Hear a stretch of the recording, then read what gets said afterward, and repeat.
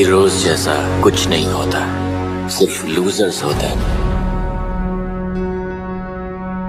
यहाँ तक पहुँचना मुश्किल था। शक्ति से दुनिया झुकती है। इसे हासिल कर लो। तुम्हें मारा नहीं बचाया गया है। कौन हो सकता है क्रिश का विलन? क्या नवाजुद्दीन करेंगे ये रोल? हेलो दोस्तों, आप सभी का स्वागत है बॉलीग्राड स्टूडियोज में।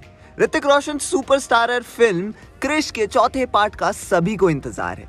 क्रिश फ्रेंचाइजी की हर एक फ़िल्म ने बॉक्स ऑफ़िस पर खूब झंडे गाड़े हैं। बॉक्स ऑफ़िस पर काबिल को मिला सफलता के बाद राकेश रोशन इस फ़िल्म को बनाने में देरी नहीं करना चाहते थे और वो इस बात की घोषणा करना चाहते थे कि क्रिश फोर जल्द ही आने वाली है।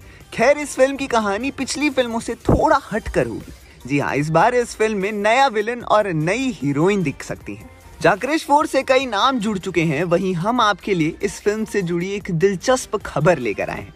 जी हाँ नवाजुद्दीन सिद्दीकी इस बार क्रिश में विलन का किरदार निभा सकते हैं। दरअसल नवाज़ को इस फ़िल्म के लिए अप्रोच किया गया है और वो इस फ़िल्म में विलन का रोल अदा करने के लिए काफ़ी एक्साइटेड है। रिपोर्ट्स के मुताबिक, राकेश रोशन, ऋतिक और इस फ़िल्म की पूरी टीम एक ऐसे विलन की तलाश में थी जो ऋतिक को इस फ़िल्म में शारीरिक रूप से ही नहीं, बल्कि मानसिक रूप से भी चुनौती दे सके। वो चाहते थे कि उन्हें एक ऐसे अभिनेता की तलाश थी जो शानदार एक्टिंग करता हो और इस रोल के लिए नवाजुद्दीन से बेहतर कौन हो सकता है?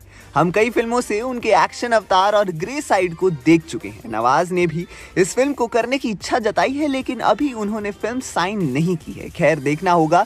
जब फ़िल्म में नवाज़ और ऋतिक का आमना सामना होगा तो कैसा धमाका होगा? नवाजुद्दीन का नेगेटिव रोल हम कई फ़िल्मों में देख चुके हैं। सलमान खान की किक हो या फिर वरुण धवन की बदलापुर, हर फ़िल्म में नवाजुद्दीन ने अपने एक्टिंग से जता दिया कि अगर अभिनय में दम है तो किसी की भी बोलती बंद की जा सकती है। तो दोस्तों, आप कितने एक्साइटेड हैं क्रिश फोर में नवाजुद्दीन को देखने के लिए अपने विचार हमारे साथ कमेंट सेक्शन में ज़रूर शेयर करें और देखते रहिए हमारा चैनल पॉलीग्राथ स्टूडियोज़